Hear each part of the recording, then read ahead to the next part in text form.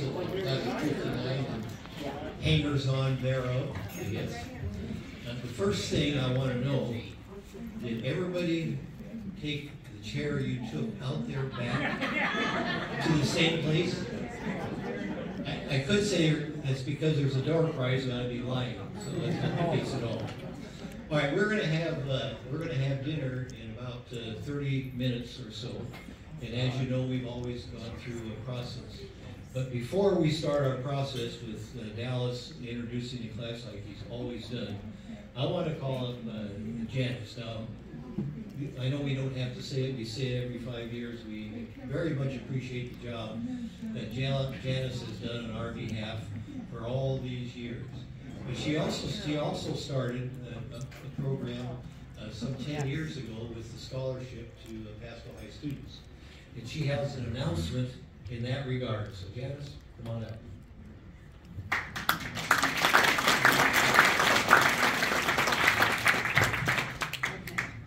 I have no way can I remember what I was going to say.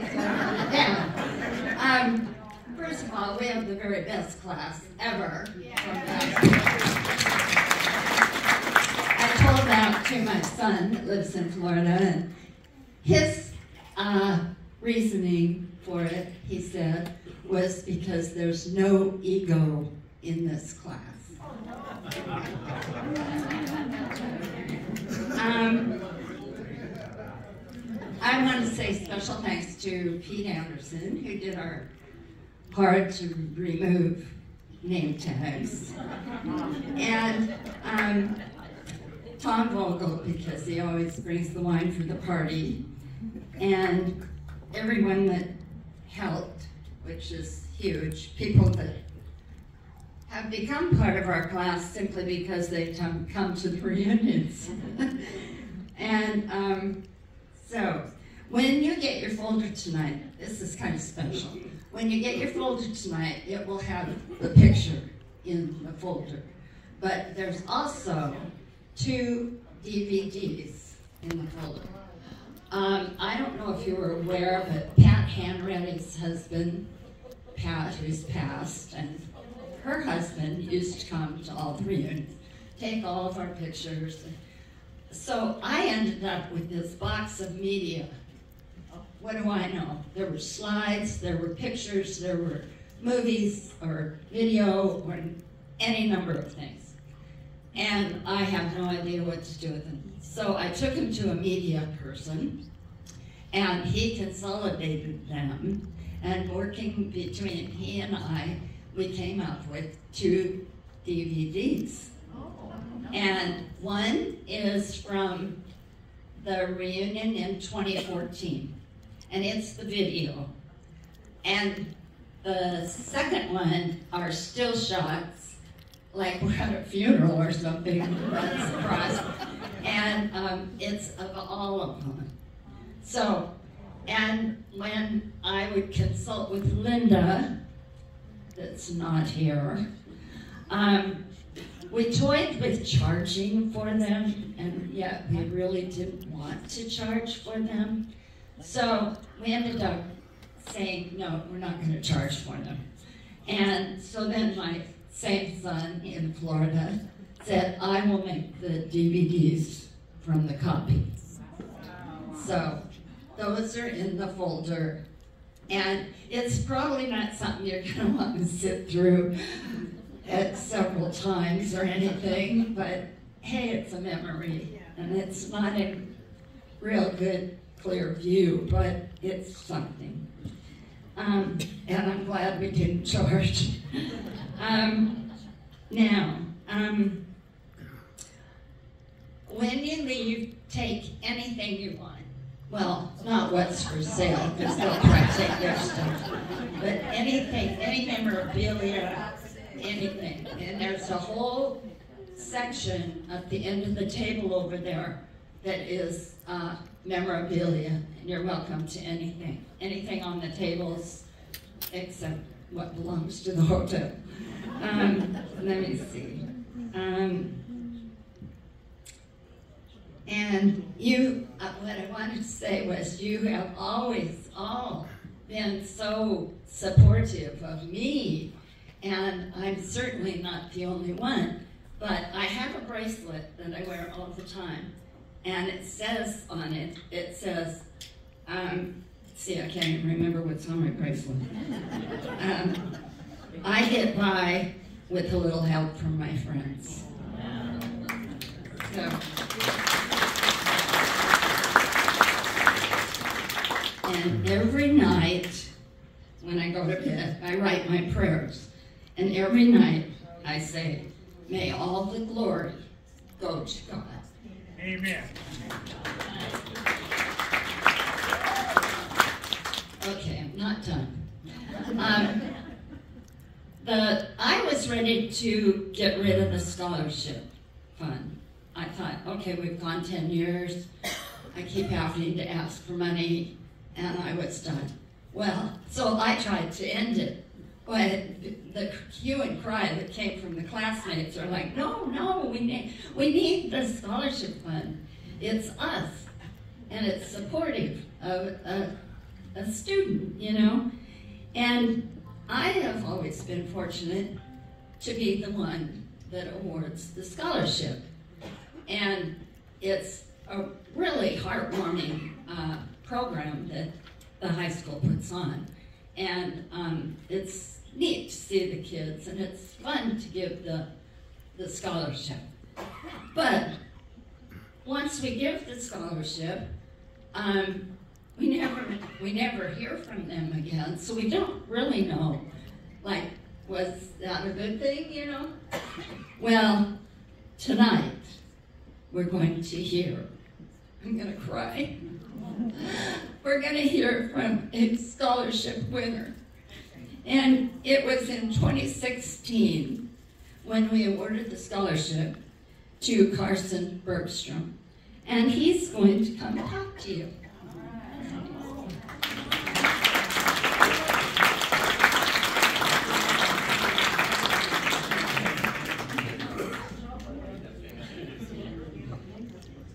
Well, thanks to Janice. Uh, thanks everyone for uh, inviting me out to come talk to you tonight. And um, for the past almost 10 years since uh, I received this scholarship, um, yeah, it's been quite a journey. So uh, I'll echo the class of 1959 being one of the best classes of, of Pasco High School, maybe the best. And I'm from the class of 2016, so there's quite a quite a lot in there too. Um, but uh, I think I think you make a good argument. Um, so yeah, 10 years since I received the scholarship, and I, I want to stand here and thank you for for your investment um, back back there in uh, 2016, and now it's eight years, almost 10 years since then. Um, I wanted to give you a little update on, on my journey, where things have taken me. Um, so, right after graduating from Pasco High School, I went to uh, Pacific Lutheran University over in Tacoma. Um, yeah, and had a blast there. I studied chemistry, um, and I met my girlfriend Danielle, who's also lovely if you get a chance to meet her. Uh, she's yeah, yeah, she's far more lovely than I am. Um, uh, yeah, so studied chemistry, had a blast there, um, and then uh, came back here actually to the Tri Cities and uh, started at PNNL. Um, I was a biomedical researcher there for two years.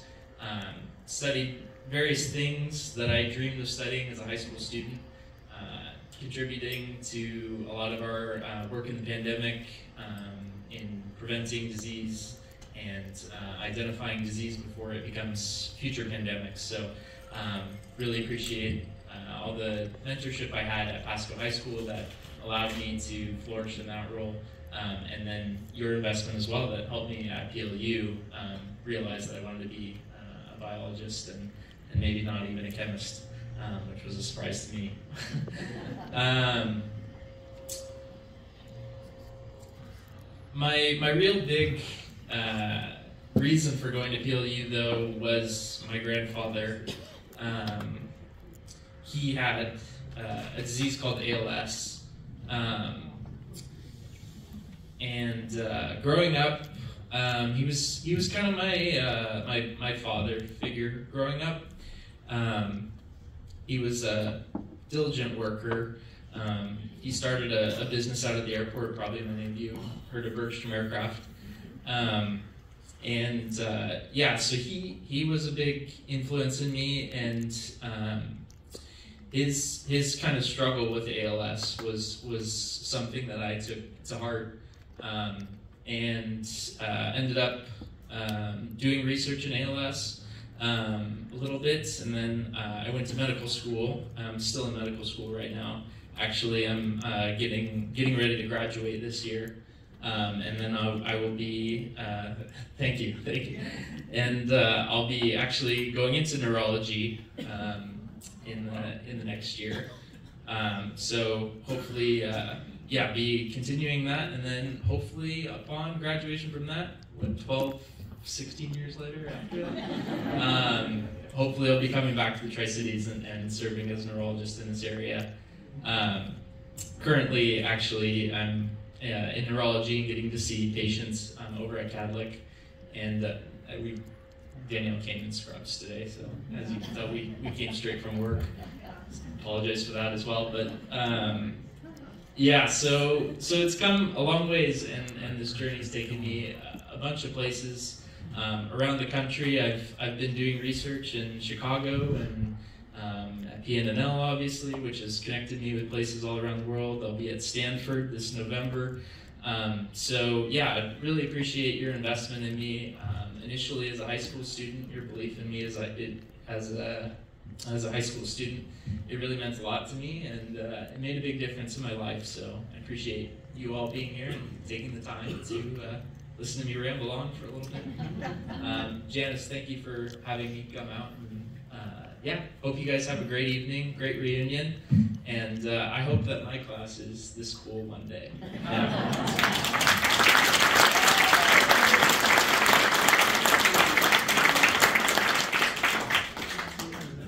Now, uh, what Janice forgot to say is that uh, the scholarship program goes on, except Pete Anderson now is the one that will be in charge of that. Is that right, Pete? From California. Well, and you've been threatening to move up here for some time. Don't you think you ought to do it?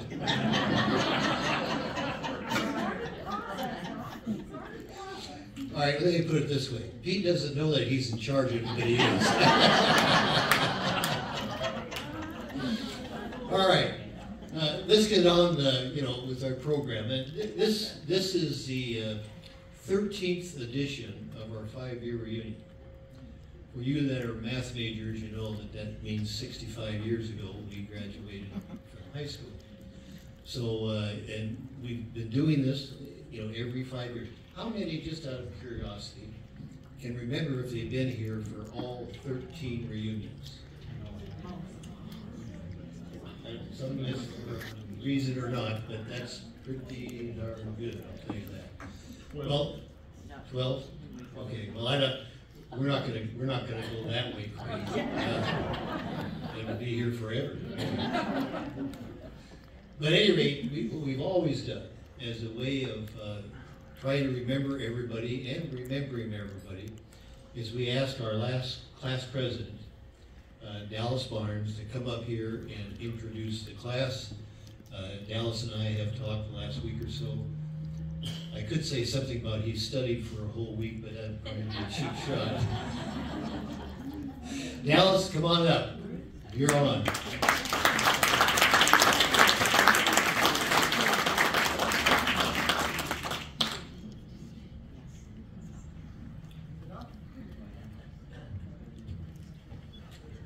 Thank you, class of 1959. Pete Anderson told me that uh, this building uh, the Red Lion was built in 1959, and here we are in it. Uh, so there's a lot going on. We've got one of our recipients there uh, here, but more importantly, we have ourselves here. And I can tell you this, we are something special. I think most of us have traveled around the world, uh, not around the world, but different places. And I don't think in my travels that I've ever come into contact with a with a group of folks that was more receptive, a community that was a refuge when I'm in trouble, and never had a situation where I know one bulldog was in a difficulty where another bulldog lend a helping hand or was there when they were in need.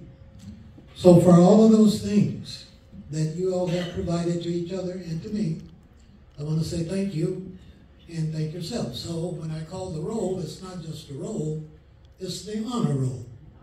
There's nothing like it. I've seen a lot of stuff in, in relationships. That's my profession.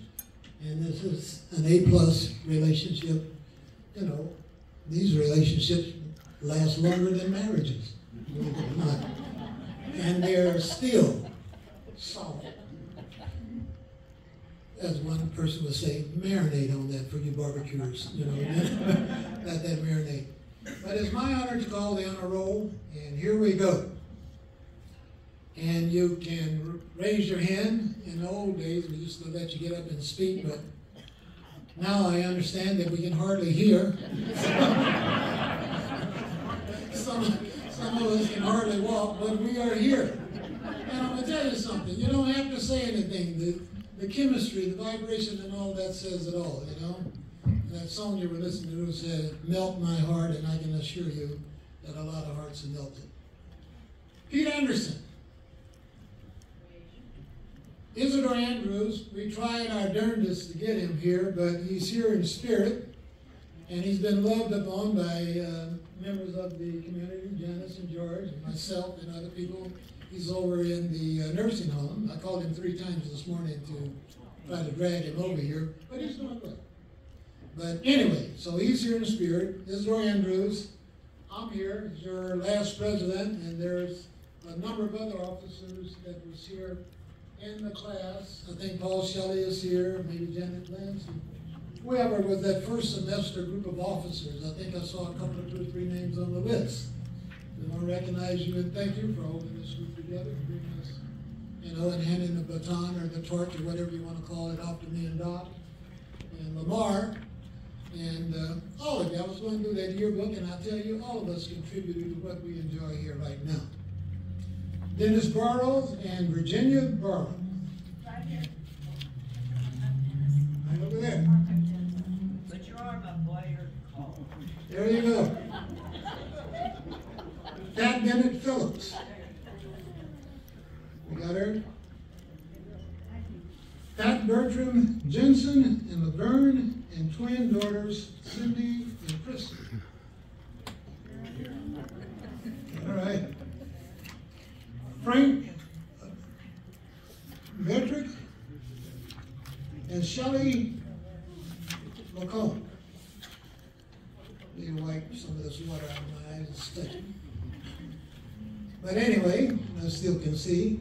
Ken Bricky and Joan Bricky. Remember them? They used to take me rabbit hunting and all of that when, when they had a jackrabbit in the Tri-Cities. Charlie Brown and, and, and Margaret Brown. Margaret Brown.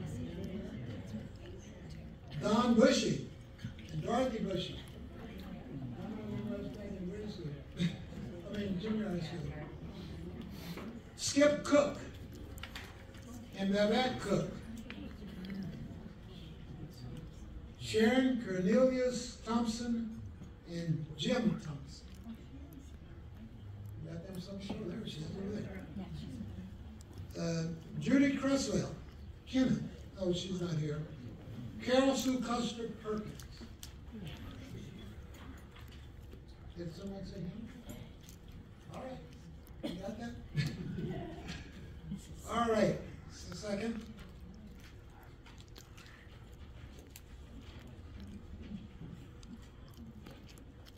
Craig Jackson's and Beth Jackson.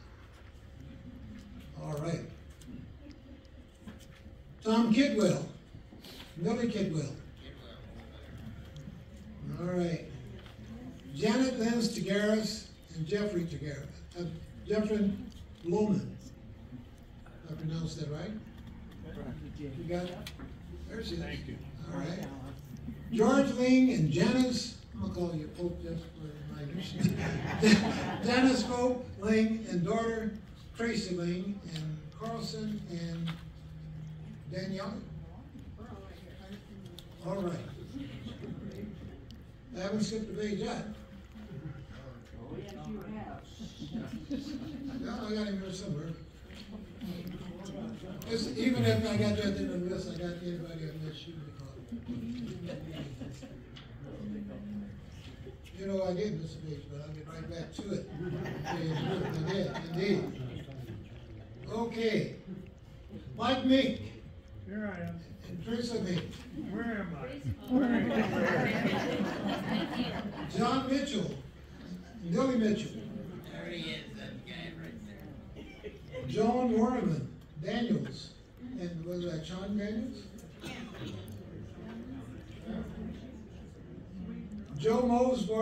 Judy Jump Mosbar. There they are. Sally Neff, how do you pronounce your last name, right? All right. And John Ortega, and Sally's daughter and son-in-law, I'm gonna call it Amy, and Amy, and Matt Mel Petey? Got it, all right. Lamar Palmer and Joanne Lamar. Woodman Palmer, Woodman Palmer. Joan Putwell Cover. John Ray. And Gail- And Ash. Paul Shelley. Oh, man, I see you, bud. Okay, Kathy Smith, uh, what is that? Lehman, and her sister Mary Smith. Where? All right. Let me go back and get the page that I missed. All right, here we go with Danny Downs. And Sherry Downs. Gary Ducalo and Linda Ducalo. Don Eisenberg. Hey. Sherry Alden Henderson and daughter Karen Lampson. Or Imfinger, Rick Hughes. Got those over there. Laverne Inglepe and Sammy Inglepe. John Golay and Linda Nagley Golay. Anita Hayden Evans. Jack Hart and Sandy Hart. Doc Hastings, Claire Hastings. Linda Head Hammer and Mike Hammer. Ron Hendrickson and Charlene Henderson.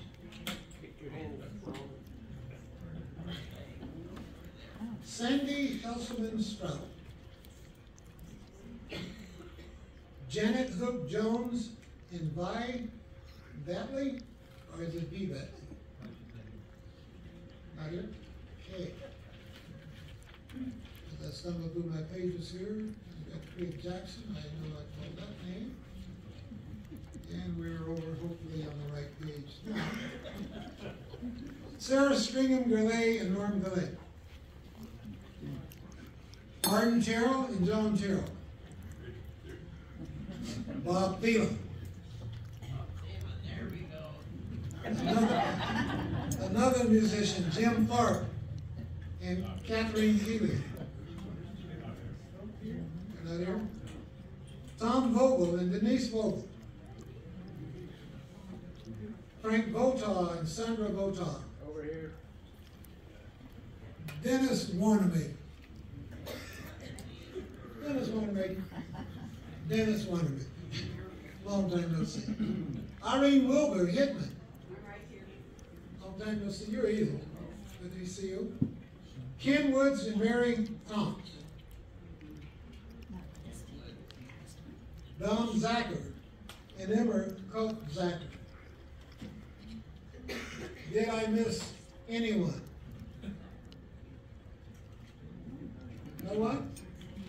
Your companion? My companion is my granddaughter Ashley. And where did she go? Way in the back. That's my granddaughter Ashley. All right. So let me say this, folks. I know that the Marine Corps borrowed, borrowed something from us, I believe, when they say no Marine left behind. I don't think we've ever left one of our classrooms behind anything, the truth. And there's another, and for those who are believers, now there's a note in my thing, Dennis, that I didn't read. Is there another one I'm supposed to read? No, that's, no. No, you don't, you don't have to read it. Okay, I don't have to read it, okay. Okay, but anyway, you know, they said no Marine left behind, no soldier left behind. We have never left a classmate behind, and anything that I know that we've known that, that we needed, Janice has seen to that, and the other supporters that she had, and made reference to her bracelet, uh, made sure that that was the case. And I can only say that our class has never left one behind indeed. And all I can say here again is thank you, thank you all for each other, and all of that. And those, for those believers in what I'm about to say, I'll say it this way. May the class of nine be with you, and also, amen.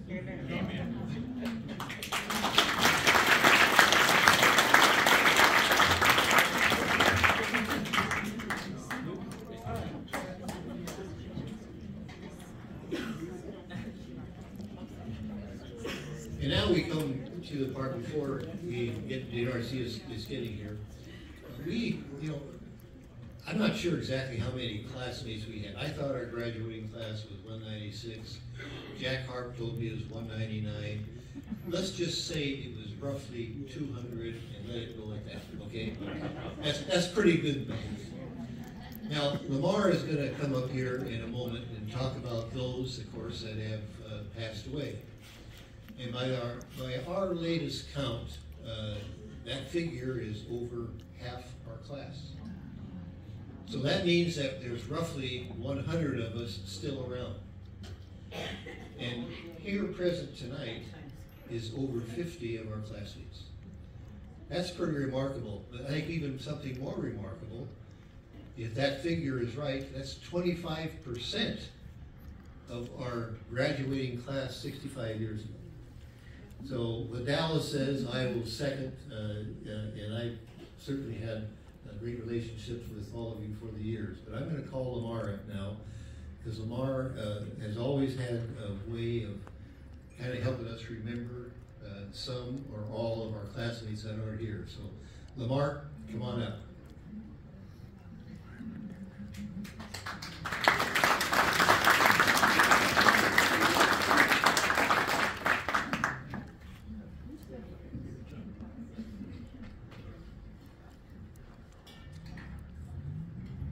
I walk uh, two or three times a week for an hour, talk to myself. And uh, I've had good conversation about what I should say tonight. One of the things I was told is uh, don't stand here and talk about those people that have passed for 10 or 15 minutes and bore everybody, bore everybody to death. So, here's the deal. What we're gonna do is you're gonna listen to me for two minutes or less. And then I'm gonna ask you at your table, members of the class, to pick somebody out and exchange information about somebody that you really loved, enjoyed, that has passed. Each of you do that for a minute. I'll take two minutes then. So does, does everybody understand what I just asked? Pretty simple? Because I, I want us to do it. Now, I'm going to make this simple because I'm going to tell you about somebody who passed that I was uh, fairly close to, and that's, uh, let's see, what's his name? Oh, Larry Fogg. Larry, Larry and I played on the line in football together for many years, and in high school we were together again. He was the right tackle, I was the right guard, knuckle dragging lineman. And uh, Larry, I don't know how many of you knew what a guy he was. But he was the, uh, named the most inspirational player on the team in our senior year. And he and I both uh, escorted senior princesses at the homecoming.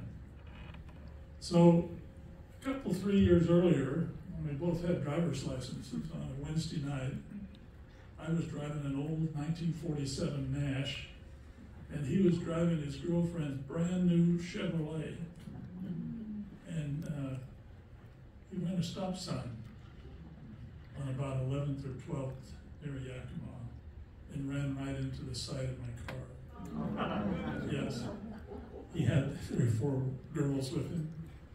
And uh, I had some kids with me. In any case, we went to court and he was found guilty. We still remain friends.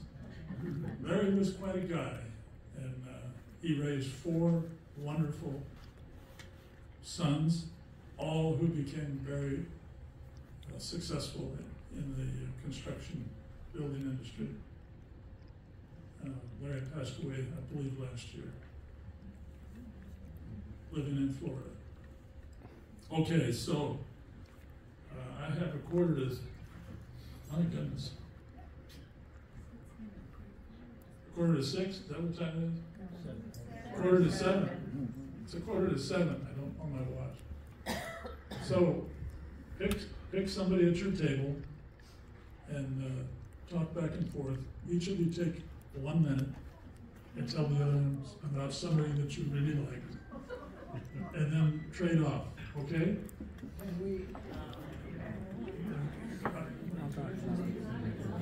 Sure, sure, absolutely, that's gonna happen. That's gonna happen.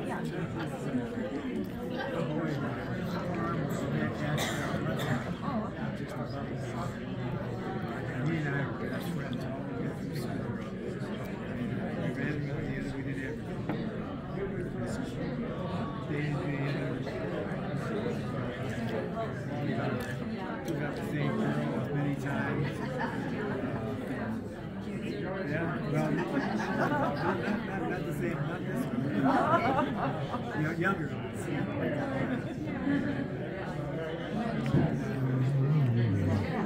This one, we still.